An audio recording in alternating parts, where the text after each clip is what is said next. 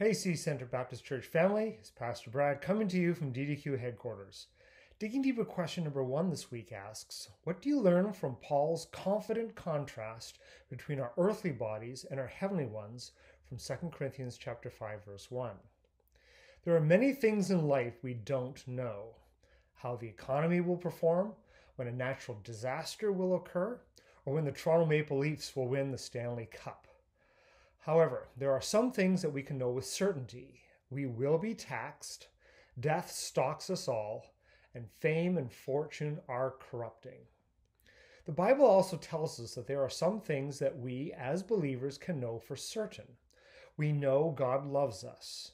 We know our sins have been forgiven by Christ's sacrificial death on the cross. And as the apostle Paul wrote in 2 Corinthians chapter 5 verse 1, when this life on earth ends, there is a bright future awaiting us. There was no doubt in Paul's mind. It was a settled fact based on the bodily resurrection of the Lord Jesus Christ. Death had been defeated, evil had been upended, and eternal life had been secured.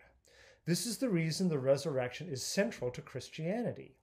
If Christ had not been raised from the dead, we would not know if our sins had been paid for, and we would continue to live in fear, shame, guilt, and doubt. However, when Christ triumphantly arose, the whole universe was put on notice that life had overwhelmed death, light had vanquished darkness, and what is mortal had been swallowed up by life. Here's what we learn from 2 Corinthians chapter 5 verse 1. Our mortal bodies will die.